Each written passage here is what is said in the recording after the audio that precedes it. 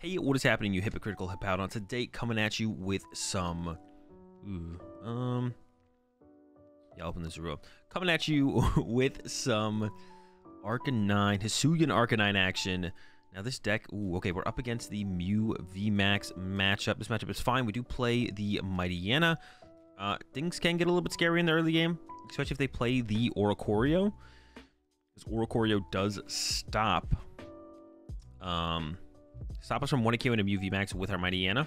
But as long as we can get to the Mightyena and they don't play the Oricorio, or we can boss KO the Oricorio in the early game, we should be all good. Um, so should be a pretty good matchup. We'll see how it goes. Um, I haven't played it a, a whole ton, but should be a good matchup for sure. Yeah, we'll see how it goes. We'll see how it goes. All right, slow start for my opponent. Love to see it. Uh, a couple Rose Towers in the hand. A couple Rose Towers too many. Go ahead and primate with some Azoric. Hope for something better. Boss really isn't it. Um, quick ball away a Rose Tower. What we did prize. We did prize a Zorua, which is good. Now I can grab the Radiant Venusaur. Heavy ball for the Zorua. We did prize two Arcanine as well. Arcanine isn't going to be our main attacker in this matchup, theoretically. Gonna go with the Rose Tower. I might draw into the Ball Guy or an Arcanine. Um, I really want to boss a Genesect here is the question. I feel like the answer is no.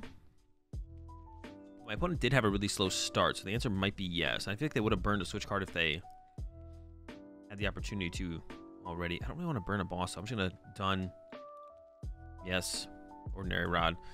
Uh, so the hand doesn't have a ton of options. Maybe I should have bossed. Maybe that's why I should have bossed, so I could actually make sure I can try and do something this turn. Uh, now I don't know if I'll be able to do anything this turn, to be honest. Definitely had a slow start. Slow go of it off the rip. Ordinary rod, ordinary rod for Zorua will be nice, but I don't know if it's going to be enough to get us going here. Gonna need like a ball guy or a peony top deck for sure. But if we do get that, we'll be in a pretty good spot, to be honest. So we'll pull something like that off. we'll be all right. We need a way to like thin out this hand a little bit. Yeah, I should have, to be honest, I should have just played the boss, drawn the extra card off Venusaur. That was probably the route to take. Got like a little bit just a tad greedy, I guess you could say. Ooh, they're chasing my Venusaur. Okay. Now we have to rod the Venusaur, which is like not super convenient. That's fine though. We also don't need to draw a prize card this turn. It's okay if we don't draw a prize card till like the following turn or something like that. We can definitely wait a turn, take a turn off from drawing a prize card. That's not a big deal at all. Figure it out after that. Old Cemetery is unfortunate. I was going to use that Rose Tower to draw cards. Uh, so that's not good. That was going to be my out to drawing cards this turn. Now we're going to have to go with that Primate Wisdom on the boss's orders. yeah, going to have to go with the Primate Wisdom on the boss's orders and hope to draw into some kind of out. I don't know what that out's going to have to be either. I mean, a peony would get us there. A peony, peony would actually allow us to KO this Mew Max to be honest. So that would, I guess that's what we're looking for, right? We're looking for the peony. Put the boss back, get the peony, one hit KO this Mew Max, and then kind of go from there. The prize cards we would be able to draw that wouldn't be that good, uh, to be honest, though. So, all right. We'll see how the draw goes on this next turn. It's going to be all on that. We'll start with the Rod, recover the Venusaur, because even if we take another turn off, like I said, we don't need to be too aggressive in this matchup. We can kind of take our time, and we can still come out on top. Don't need to be that aggressive.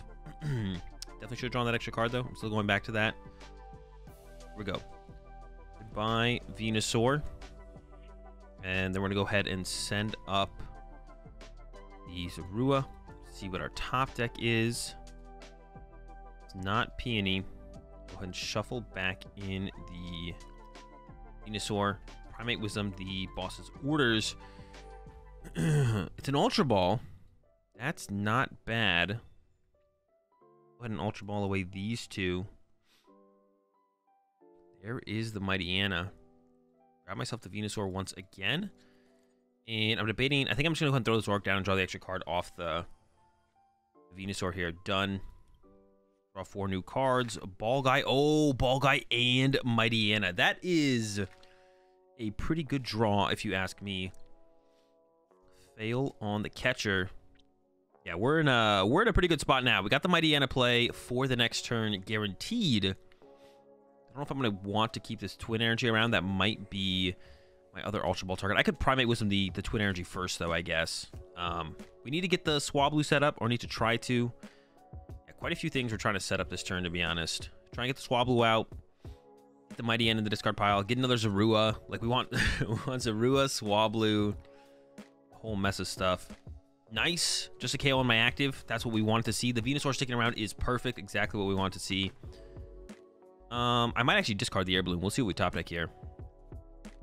Capture energy. That's a good one. So yeah, I'm gonna go try and conserve the twin energy here. I also don't have to. I also always have to remind myself of this sometimes. I don't actually have to get to a zero card hand to uh to get the knockout with the Mightyena. Yeah, I sometimes have to remind myself of that because I'm just so used to like so consistently trying to get to a zero card hand.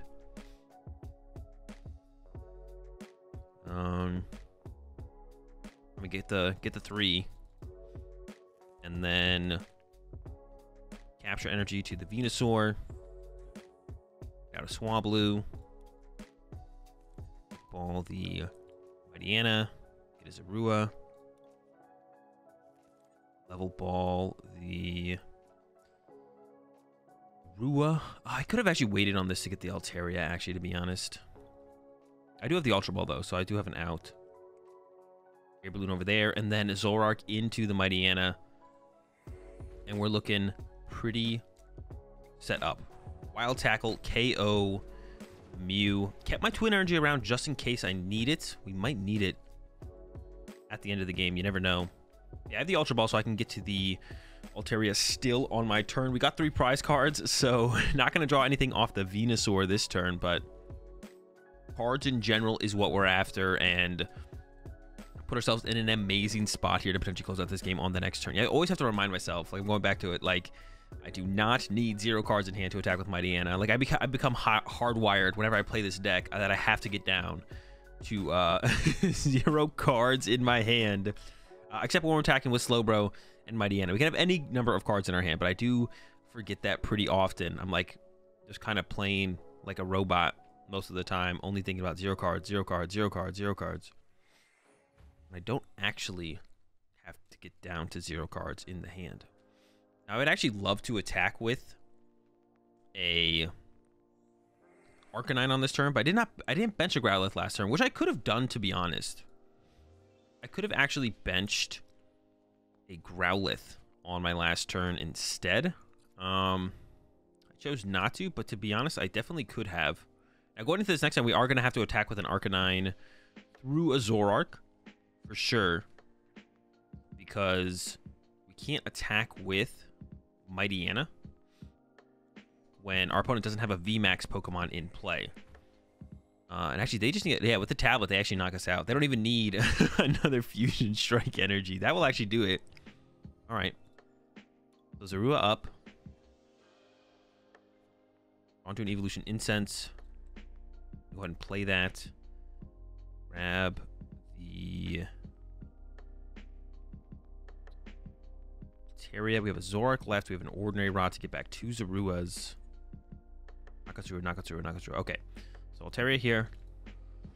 To go ahead and Ultra Ball away these two. I'm not going to get the Zoroark here, actually. I don't need that. I am going to get the Slowbro to put that in the discard pile. Or to the active. And then we're going to play the Peony. Discards the Slowbro. And we're going to go ahead and grab a Level Ball and an Ordinary Rod. And have an Ordinary Rod for two. Count them two. Zoruas. Then I'll go ahead and Level Ball for a Zorua. Cool. I'm going to go ahead, bench that. I will Tempting Tune a Peony on top of the deck, I think really does give me the best options usually. And transformation into the Arcanine. And then we can go ahead and knock out this Meloetta and go down to two prize cards. And now we can win the game with Slowbro. That's kind of what I was kind of building up towards here. Could draw with the Radiant Venusaur. How many Evolution Incense do I have left? Three? Um, go ahead and say no on the Radiant Venusaur draw. Just top deck the Peony, play the Peony, and that can get me basically anything I'd want for the turn. So it feels like we're in a pretty good spot here. The only play that I could see my opponent lining up from here would be... Oh, they're already going after my Zoruas. This is actually where it could get a little ugly. But I do have two bosses orders left, to be honest. So right now I could go boss Genesect knockout into... Or boss Genesect hit into boss Genesect knockout. And I can just win the game that way, to be honest. Um, so I think that is what I'm going to go for here. I'm just going to go for the boss boss uh, on the Genesect to win this game. Is hitting a Mew uh, it doesn't really do anything for me. Our draw is the peony. I could go for the Slowbro play as well. I could go for the Slowbro play. I could I could just play peony. Set up. The Rua. I kind of like the this play though. This play is way cooler. This is why I kind of want to go with this play. I'm just gonna go level ball. Level ball for Zorua. Go for the Slowbro dub. And I'm just gonna go ahead and Altaria and just put the Piers on top. Piers finds a Zoroark plus the Twin Energy. Uh, and we're still gonna very vulnerable. We still want to apply some amount of pressure here. Very vulnerable with the hit. Um, and I will draw here. Uh, wait, maybe that was a mistake. I guess we could get Marnied now, but if they get Marnied, then we can still just go Tempting Tune plus Primate Wisdom. Yeah, I feel like we just have this one locked up, to be honest. I don't know what my opponent can do here, actually, to stop us from winning this game. Knock out the active. We win with Piers. We'll knock out as a rule. We win with Piers. Like I said, I could have gone for that boss play on the Genesect on my last turn. Boss up a Genesect, hit it, and then hit it again. Repeat, but um, we don't need to do that. And, I mean, this play should set us up solidly to... Uh, win this game. And even if they go with like a Psychic Leap here, they'll eventually have to take a knockout. Like my Arcanine will eventually get KO'd by Psychic Leap. So they can't Psychic Leap infinitely. Or just not quite. Yeah, can't quite Psychic Leap infinitely. Um, wait, could I have won this game with... I could have just won with Mightyena this turn. I didn't even realize that I could have just won with Mightyena. They had the Mew VMAX. Oh my gosh, I can already... I'm not going to read the comments for this video, that's for sure. No way I read the comments for this video. yeah, I literally could have just won with with uh Mightyena that turn. Literally just blanked. I was like, I don't know, the the Slowbro play is kind of cool. It's just a zero card hand, play for the Slowbro play. Um yeah, literally just drew a blank. I'm not gonna lie. We could have just we could have just won that turn with the uh Wait, could we have? Did they psychically blast? I don't even remember what happened last turn, to be honest. I think I could have. They had a Mew max in the active, right? They haven't evolved this since then. Yeah. I'm not reading the comments on this video, 100%. Um, so they could get the Psychic Leap loop. Like I said, could start Psychic Leap looping, but they will have to knock out something eventually. And when they do, we have the Piers, which will lead to the win for us. Um, so it's just a matter of time um, for that. Psychic Leap Loop will not go infinite for my opponent. There's a boss on the Altaria. That's fine. It does have free retreat, so we're just going to move it. I think my opponent is trying to get to the point where they can Psychic Leap Loop, uh, but they might not see that uh, Slowbro is an out for us once they draw one more prize card. So they don't see that. Still going to be in a pretty good spot, and I don't think they see that. Choice belt to the bench view. That's fine. Comes a quick ball. Sparkle. Yeah, I mean, they've done it. They've gotten down to uh, zero card deck. Now they can Psychic Leap, and then next turn Psychic Leap, and they can repeat this process. Oh, they actually KO'd. Oh, okay. Well, now we just win. I didn't see them put down two tablets. That's going to do it. We get the dub here. This is why the Piers is so good. One appears in the early game. It's not even bad if you draw it as like your only supporter for turn uh, going first. It's not even a bad supporter to have. Uh, because it can get you a capture energy and like a Zorua in the early game. Uh, and then in the late game, it gets you your Zoroark and your Twin Energy, which becomes your Slowbro to utilize the uh, Twilight Inspiration attack to close out games super easily. Shout out to uh, shout out to Piers. What a broken card. This is probably the best deck, the best time, the best time Piers has been good right now in this deck right here, which is pretty sick to be honest. And that's gonna do it for the gameplay with the Arcanine Zoroark uh, deck. Really cool deck. Arcanine, Hisuian Arcanine Zoroark is an amazing deck. The deck is so much fun. Uh, it's a little bit challenging to like get down initially. There's like a lot of things going on with when you should Venusaur, or when you shouldn't Venusaur, should you Altaria, should you not, what to Guru, when to Guru, so many things to be honest. But once you get a hang of it, it's a super cool deck. If you guys enjoyed the video, be sure to give it a like, subscribe. If you want to get some more Hisuian Arcanine gameplay from me, check out the uh, secondary YouTube channel, Azul GG2, where I uh, been posting a lot of gameplay over there. There's some gameplay up there right now, or will be in a little bit if you're watching this video when it first comes up on secondary YouTube channel to get some more Arcanine gameplay from me, and I'll catch you on the next one. Peace.